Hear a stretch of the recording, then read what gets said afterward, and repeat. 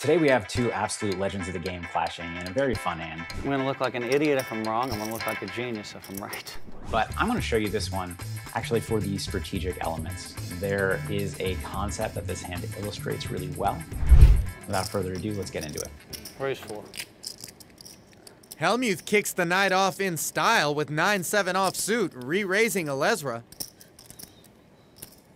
Dwan with the suited connector.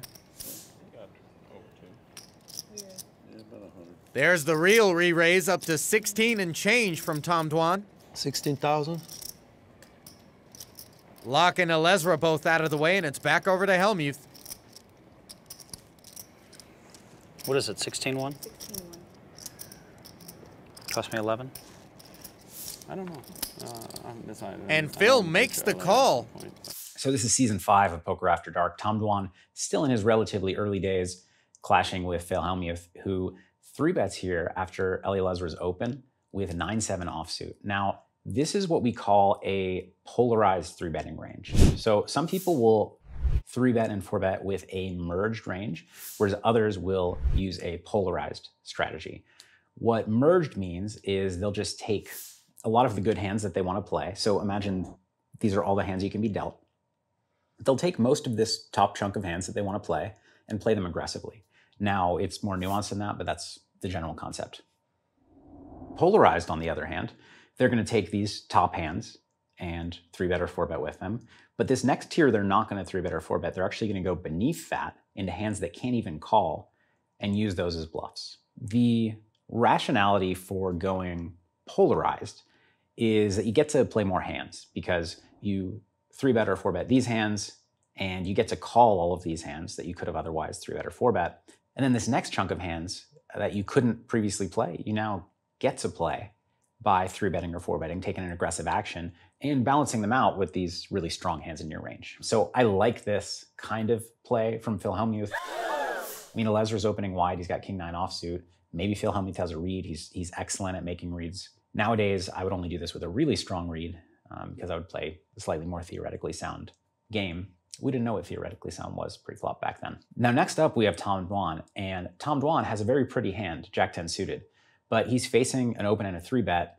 He doesn't really want to call a hand like this, but Jack 10 suited is a pretty good hand, and so Tom is taking the approach, presumably, of having a more merged four betting range here. And Jack 10 suited is kind of like here in that range. It's it's pretty good. It's one of his better hands. He's not four betting here with Jack 5 suited. What we're going to see in this hand is how when you have a polarized range up against a merge range and you kind of both don't believe each other, well, the merge range wins. So Dwan makes it 16,100 and Hellmuth actually calls. So this call is crazy theoretically. Usually um, you take polarized actions with three bets and four bets, but you don't then call four bets and five bets with those hands. However, like I said, Hellmuth is excellent at reading people. Honey, honey, I was supposed to go broke on that hand, honey. Except I forgot one thing. I can dodge bullets, baby. You don't think I knew he had a full house? It doesn't mean he's right 100% of the time, but I believe he sensed that Tom was four betting light here, and in this case, he's right. Uh, so he decides, you know what? If Tom doesn't have much of a hand, I look really strong if I three bet and then call this pretty big four bet, and I'm going to get to take the pot away later. Good news is he's got position. Bad news is he's up against his nemesis, Tom Dwan. No. It's also my girlfriend. Tens for Durr, sevens for Phil. 13, which is with us. No, I'm not sure I'm buying a 13. You checked? Yeah, he did check.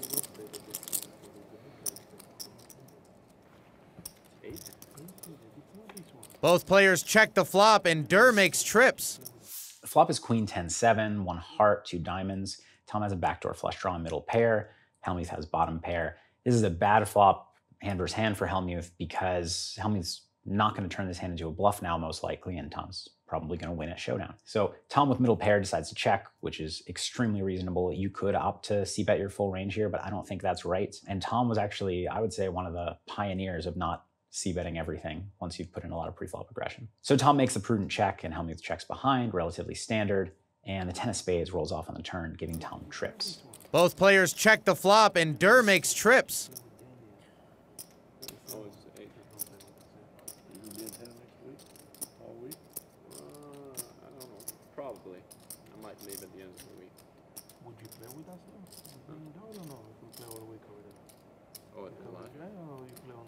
Eric? You play with us though? I don't know if we play all week over there. At the Come line. I don't know if you play online. Eric? Me, me, me and Eric and Eli play every day.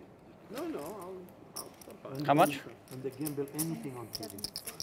27.6? Anything you go with TV. Dwan bets 27,600, and Hellmuth quickly calls him. At this point, Tom bets 27,600, which is almost pot. And on this 10 turn, which actually Hellmuth can have a fair bit of, like ace 10 suited, jack 10 suited, king 10 suited, um, especially when he checks back flop, because all of the 10x hands are going to check back flop. This is kind of a polarized bet from Tom. He's repping a polarized range because it's pretty tough to bet a hand like queen jack for this sizing on the turn and then bet river as well. Uh, it just gets too thin by the time you you get paid off on the river. So Tom is saying he has trips or nothing. Maybe kings or aces, maybe. But Hellmuth, looking at this bet from Tom, who has a, a really, really aggressive image and reputation, with his pair, he's he's not looking to fold just yet. I don't fault Hellmuth for this call. Seeing his hand, I would expect him to call against Tom. One thing that's really interesting is you need to know your opponent um, in Tom's shoes because some people just c bet the flop with all their air and then they just don't have air to bet the turn with. Tom is not one of those people. He's deceptive enough that he can check total air. I mean, he could check hands like ace five suited. He could even check hands like king jack to then bluff later or even check raise flop. So I think you need to give Tom credit for bluffs here, and I think Phil Hellmuth does. But be aware that there are some players against which you could just fold everything here on the turn because they had bet all their bluffs previously after taking that really aggressive pre-flop action. I know you like to be entertained, but I want to teach you something as well. Boom. Almost $90,000 in this pot. Both players have plenty left behind. I'm all in. Dwan moves all in. He's got Hellmuth covered, so the bet's 119 and change. Total brick five hits the river. Tom now goes all in for about one and a half times pot, 120,000. And if he wasn't polarized enough on the turn, I think he certainly is now. Back then, overbets were a lot more uncommon than they are today. And so I think this screams of even more polarity than it would in today's games. So Tom shoves and Hellmuth goes into the tank. And he is thinking to himself, wow, I got here with 9-7 offsuit. Uh, I'm either going to look like an idiot or a genius, I think is what he actually says. And I think he's trying to decide, you know, how often Tom has 10x, which would play this way a lot on the flop and the turn and the river. But how many 10x hands are cold four betting pre-flop? Maybe ace 10, maybe some king 10, as we can see, some jack 10. Um, but if he puts Tom on a polarized four betting range that doesn't include hands like jack 10 suited as much and has more like ace four suited and stuff that totally whiffs this board, like high card, low card, then he might be thinking that Tom doesn't connect with the 10 as often as he, he thinks he can represent. What an awful spot if you're Phil Hellmuth. The five on the river, unlikely to have changed anything. What I want you to take away from this, other than enjoying the hand between these two legends, is building a strong image, a strong, aggressive, wild image like Tom Dwan has. Yes, sometimes he punts off a stack, but very often you see him bluffing in great spots and picking up the pot. Often, at times like this, you see him actually have the goods and get paid off in spots where most people wouldn't get paid off. I hope you enjoyed the hand. I hope you learned something. Until next time, take care and good luck. Good bet, kid. Good bet. I'm going to look like an idiot if I'm wrong. I'm going to look like a genius if I'm right. Durr is absolutely stoic, giving nothing away. I'm sorry I'm taking so long, guys. Take up to four days.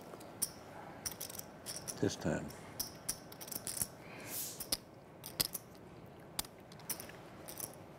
I call. Three tens, yeah. Nice hand, buddy. Thank you. And just like that, Tom Dwan takes down an almost $330,000 pot. Jack 10. Ah, I knew he started with nothing. Need door. Good hand.